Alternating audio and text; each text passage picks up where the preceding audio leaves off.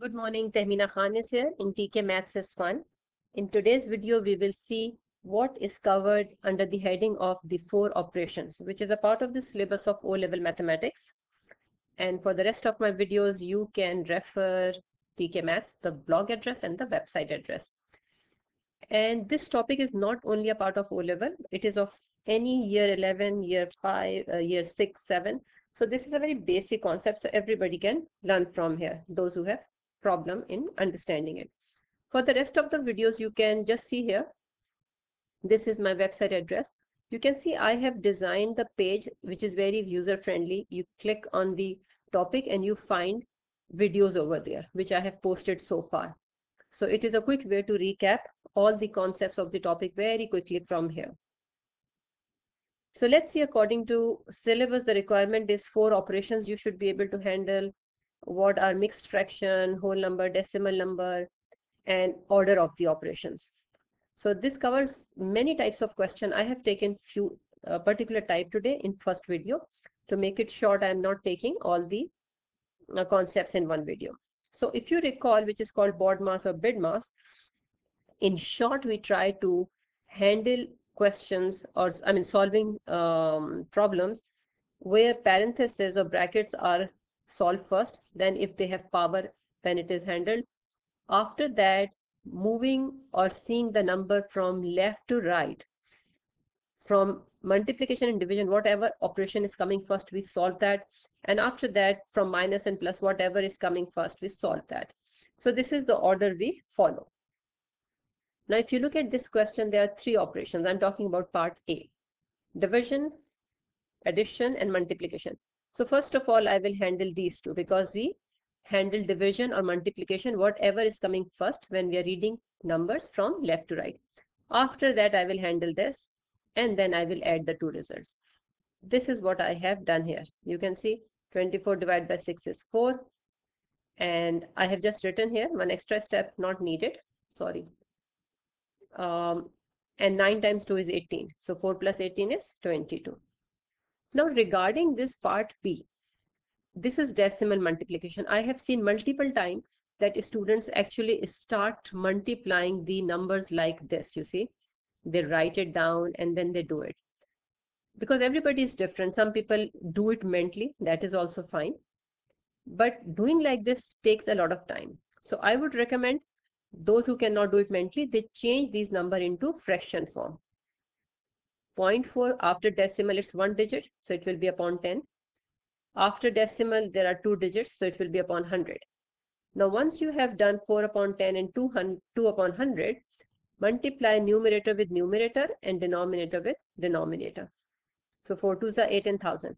Any number divided by 10, 100, 1000 is always very simple to handle. So you just have to jump decimal three places to the left. This is what I have done here, right?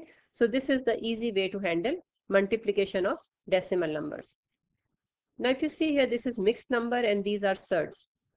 You know, surds are um, those numbers which have non-perfect square in the under root, like root 2, root 3, root 5. These are surds. How to handle them? Let's see part 1 first. There are two ways to do it. The easy way, which does not confuse most of the student, is to change mixed number into improper fraction. What is that?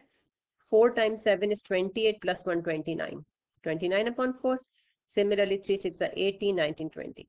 After that, because there is minus sign, even if it is plus, whenever there is plus or minus sign, we take LCM. So if you take LCM, it will be 12. So 87 minus 80 is 7 upon 12.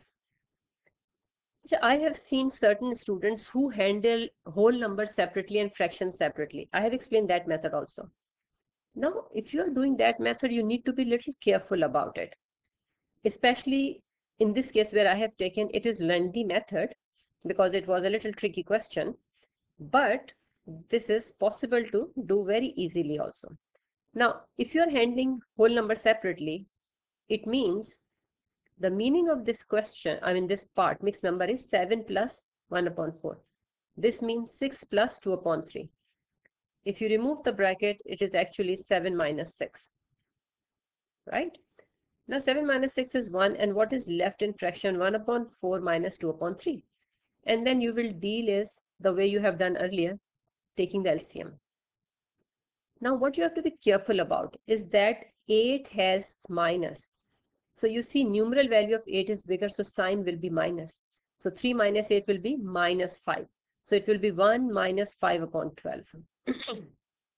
and after that, you have to take LCM again to subtract it and you will get the same answer 7 upon 12 right so you can do either method and in this case number outside the surd is multiplied by the number outside the surd. so 5 3 is 15 root 2 and root 2 means numbers inside the surd are multiplying. I don't need to do it. We know that root 2 into root 2 is 2 but I just showed it in case if these numbers are different then what do you do? So basically you multiply. And root 4 is 2 so 15 to the 30 so part a is same because i've taken from past paper so i've taken the question as it is. So this is exactly same but this time i have just changed them into mixed number sorry improper fraction i took lcm and subtracted it now why did i take this example if you see here what are you getting here this is called improper fraction you do not leave answer in improper fraction. Then you write it in the mixed number. This is just a convention. It is not marked wrong, but depends. And here again, I'm changing it into fraction. And then after that, earlier we had multiplication, but now we have division, so it will be flipped. And then you will simplify it, cancel it, and then it will be 42 upon 1 into 10 upon 1. So it will be 420. I hope all you all of you understand when division changes into multiplication why the fraction get inverse. Here also you will take LCM and cross multiply. I have just taken few example in case because you know people who are in class 6 or 7 they need good recap here. So this is how you will take LCM. Whenever there is plus minus take LCM. Sometimes students make mistake and what is the mistake? when there is multiplication between the two fractions, even in that case, they take LCM by mistake. Don't do that. LCM is taken only and only when there is plus or minus between the terms. So in this case, it will be simple multiplication 8 upon 45. In this case, the mistake which is made is, or I would say not mistake, but lengthy method, they multiply 2 by 4, 2 by 5. Don't do that. Simplify the parenthesis first. So 4 minus 5 is 1 and then open the bracket and simplify it. Right? Here, do not try to change this into multiplication and flipping at the same time. Mostly mistake happen. So do one at a time. First of all, change it into improper fraction. After that, change division into multiplication and flip it. And then simplify it. Right? So thank you very much for watching this video. Please press um, share it with your friends and press like and subscribe if you like the video. Take care. Allah Hafiz.